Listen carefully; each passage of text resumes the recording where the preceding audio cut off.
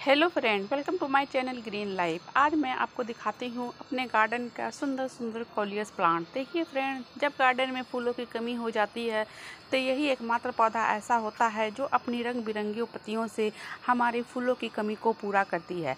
देखिए फ्रेंड, कितना खूबसूरत कलर है और ऐसा लगता है जैसे कारीगर ने इसमें अपनी कारीगरी आजमाया है और पेंटिंग करके ऐसा कलर बनाया हुआ है। कुदरत का भी करिश्मा गजब होता है। देखिए, कितना सुंदर सुंदर रंग बिरंगी इसकी पत्तियाँ हैं। मेरे पास आठ दस तरह का कोलियस प्लांट है, जिसमें देखिए, ये ग्रीन कलर कितना खूबसूरत लग रहा है। ये दूसरे वैरायटी का है।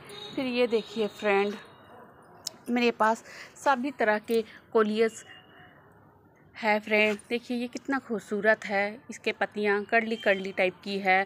इस बार मैं नया कलेक्शन लेके आई हूँ, फ्रेंड। देखिए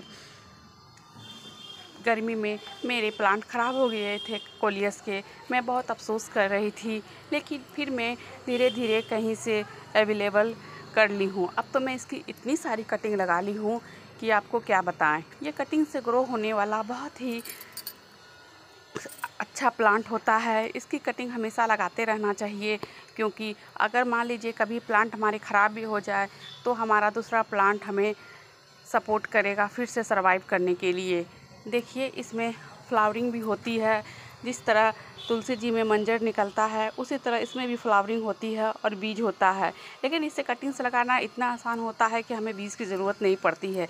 इसीलिए बीज बीज में हमें बीज का पिंचिंग करते रहना चाहिए, क्योंकि जब इसमें बीज आने लगता है तो इसका ग्रोथ अच्छी तरह से नहीं हो पाता है। इसलिए हमें जितने भी इसके बीज जब निकलने लगे, फ्लावरिंग होने लगे तो इसे हटाते रहना चाहिए, क्योंकि इसके फ्लावर उतना अट्रैक्टिव नहीं होता है।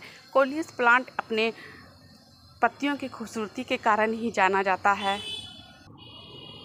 अभी मेरे सारे प्लांट लेगी से हो गए हैं, लंबे लंबे हो गए हैं। मैं इसके फिर फिनिशिंग करके, फिर मैं इसके बहुत सारे प्लांट फिर से तैयार कर लूँगी। ऐसा तो मेरे पास अभी बहुत सारे कटिंग तैयार हुए हैं, लेकिन फिर भी ये लेगी सा हो गया जो देखने में उतना अट्रैक्टिव नहीं लग रहा है, इसलिए मैं इसकी फिर से मैं पिंचिंग कर दूँगी।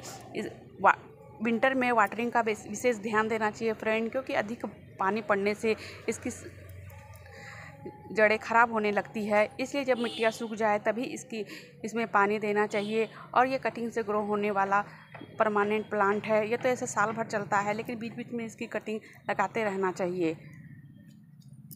यह फुल सन में रहने वाला प्लांट है, लेकिन हमें लगातार सन इसमें नहीं चाहिए। कम से कम इसका दो तीन घंटे का सन इसके लिए ज़रूरी है।